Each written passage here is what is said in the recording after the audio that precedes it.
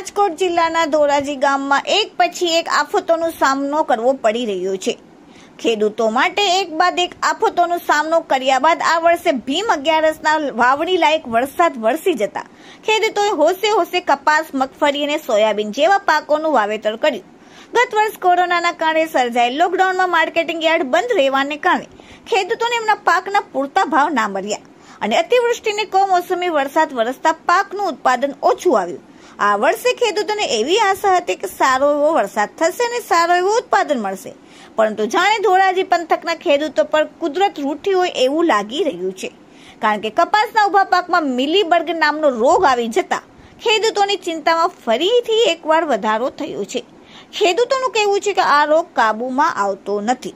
ધોરાજી પંથકમાં ખેડૂતોનું કહેવું છે કે અતિવૃષ્ટિને કારણે કપાસ, મગફળીના ઊભા પાકનું ધોવાણ થયું અને અંતમાં તો ઊંટને વાવાઝોડું આવ્યું, જેના કારણે ખેતરોમાં ઊભા પાકનો વિનાશ વેરાયો. સરકાર દ્વારા ખેડૂતો માટે સહાયની જાહેરાત કરવામાં આવી પર- પરંતુ ખેડૂતોને હજી સુધી કોઈ સહાય મળી નથી. હવે કપાસમાં રોગચાળો આવી જવાને કારણે ખેડૂતો મૂંઝવણમાં મુકાયા છે. મિલીબર્ગ આવી જવાને કારણે કપાસનો પાક વૃદ્ધિ કરતો નથી. આમ ખેડૂતોની ચિંતામાં ફરીથી એકવાર વધારો થયો છે. રિપોર્ટિંગ બાય સરફરાજ કોડી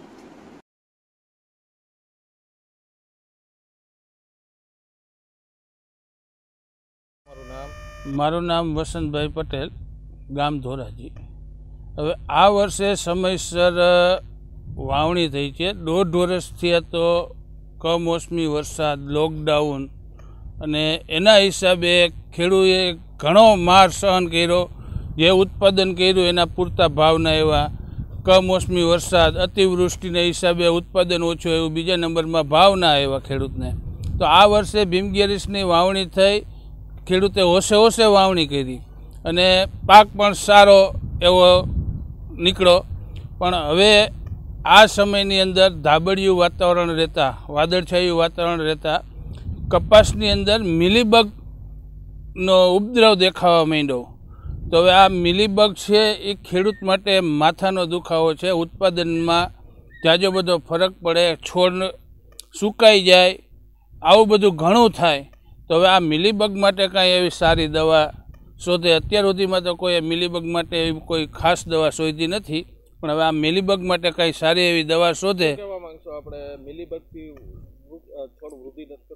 મિલીબગથી છોડ વૃદ્ધિ ના કરે હોય એથી અડધો થઈ જાય અને વધારે પડતો જો એ મિલીબગ, અને મિલીબગ એવું છે, આજે પાંચ છોડવામાં દેખાણો, તો તમે પાંચ દિવસ કેળે જાઓ તો વીઘા, દોઢ વીઘાની અંદર મિલીબગ થઈ જાય.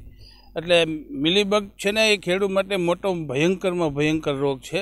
એટલે એના માટે કોઈ સારી દવા તાત્કાલિક ભલે સરકાર જે કંપનીઓ હોય તેમને માર્ગદર્શન આપે અને એની હારે ચર્ચા કરે કે ભાઈ કંઈ એવી સારી દવા હોય તો મિલીબગ માટે તમે ખેડૂતને આપો. મિલીબગની દવા આવી જાય તો ખેડૂતને સાવ સારું થઈ જાય. બસ એટલું જ મારું નમસ્કાર ખેડૂત મિત્રો. હવે આ ચોમાસાની અંદર આપણા વિસ્તારમાં ખાસ કરીને મગફળી અને કપાસનું જુદા જુદા વિસ્તારમાં વાવેતર થયેલ છે.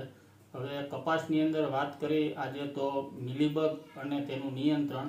તો ખાસ કરીને કપાસમાં શરૂઆતમાં જ્યારે કોઈ પણ દવાના હજી સ્પ્રે ન થયા હોય, આ સમય દરમિયાન ઘણી વખત મિલીબગના ઉપદ્રવ જોવા મળતો હોય. તો મિલીબગના નિયંત્રણ વિશે કહું તો પહેલું તો આપણે ખેતરની ફરતે જે સેઢા પાડા ઉપર જુદા જુદા ઘાસ હોય, એમાં ખાસ કરીને ખપાટ કોંગ્રેસ ઘાસ આવા જુદા જુદા જે ઘાસ હોય તેનો આપણે વાઢીને અથવા તો બીજી રીતે નાશ કરવો જોઈએ. બીજું કે સેઢા પર જો અડુહાના પાક હોય, એના પણ ઝાડ હોય તો ત્યાંથી પણ મિલીબગનો ઉપદ્રવ શરૂ થતો હોય છે. આ સિવાય ખેતરની અંદર પણ જો આપણે નિંદામણનો સમયસર નાશ કરીએ તો પણ આ મિલીબગનું આપણે નિયંત્રણ કરી શકતા હોય. દવાની જો વાત કરીએ, આમ છતાં પણ જો મિલીબગ જોવા મળતો હોય, તો તેના નિયંત્રણ માટે પ્રોફેનોફોસ પચાસ ટકા નામની જે બજારમાં દવા મળતી હોય, આ દવા પંદર મિલી પંદર લીટર પાણીમાં નાખી અને સાથે ડિટર્જન્ટ પાવડર એક ચમચી નાખી અને જો છંટકાવ કરવામાં આવે, તો પણ આ મિલીબગનું આપણે સારી રીતે નિયંત્રણ મેળવી શકીએ. ધન્યવાદ.